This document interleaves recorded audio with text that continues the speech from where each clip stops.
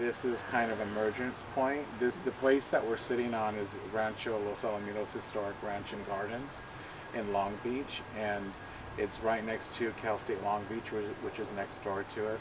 And this whole area, um, um, they call it Puvungna, and it's um, an emergence point for us in, in our cultural and our creation stories.